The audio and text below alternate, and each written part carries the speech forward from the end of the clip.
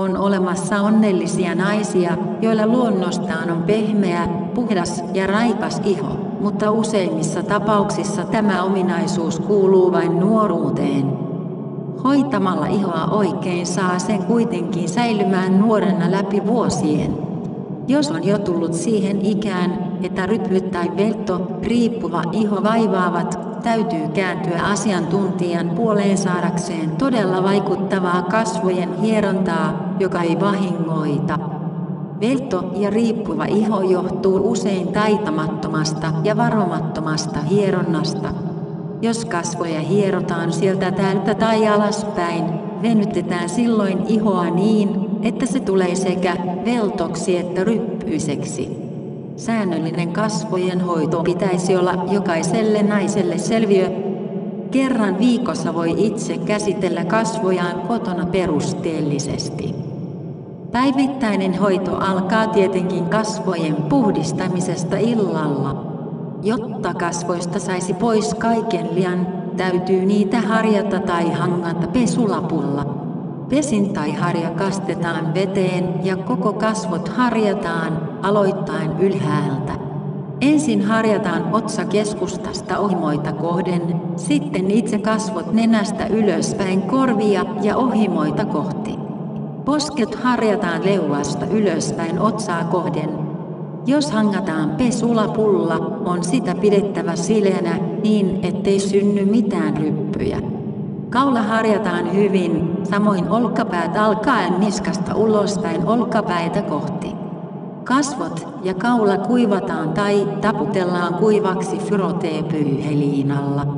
Jos ei tahdo joka päivä harjata kasvojaan, voi ne pestä puhdistusvoiteella tai tavallisella ruokaöljyllä, jota hierotaan kevyesti ihoon hetkisen aikaa ja kuivataan sitten pois pumpulitukolla tai kasvolinalla. Sen jälkeen pyyhitään kasvot veteen kastetulla ja kuivaksi poseretulla pumpulilla, johon on kaadettu hiukan kasvovettä. Harjaamisen jälkeen on myös pantava voidetta, joka saa olla kasvoissa vähän aikaa, muuten nyt menetellään samalla tavalla kuin yllä. Seuraa ihon virkistäminen.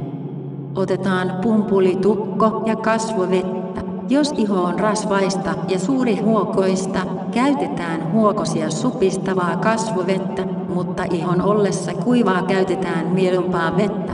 Pumppulituppoa liotetaan ensin, kuten aikaisemmin on selitetty, vedessä, joka pusseretaan pois, ja sitten siihen kaadetaan kasvovettä. Nyt taputetaan kasvoja kevyin, mutta kiintein lyönnein alhaalta ylöspäin. Otsaa käsitellään kolmessa linjassa, lähtien aina nenän juuresta. Kun taputtamista on jatkettu jonkin aikaa, saavat kasvot raikkaan värin ja tuntuvat miellyttävän lämpimiltä. Sen jälkeen taputetaan ihoon ravitsevaa voidetta sormen päällä pienin, kevyin liikkein alhaalta ylöspäin.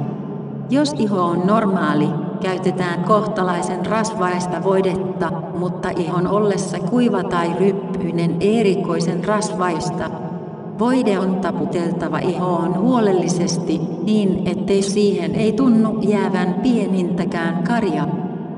Aamukäsittelyksi riittää, jos taputtaa kasvoihin hiukan kasvovettä tai puuhtelee kylmällä vedellä sekä taputtaa ihoon hiukkasen päivävoidetta.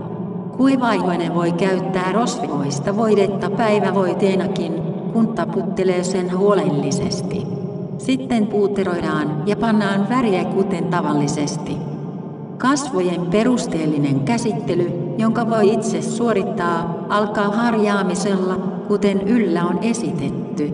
On vain puhdistettava hyvin tarkkaan nenäseudut ja leuka, sillä se auttaa taistelussa ihomatoja vastaan.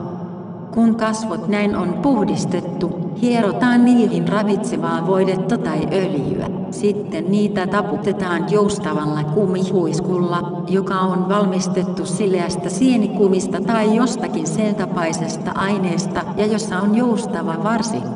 Tämän jälkeen kasvoja taputetaan kylmään veteen tai kasvoveteen kastetulla pumpulitukolla, kuten jo on selitetty.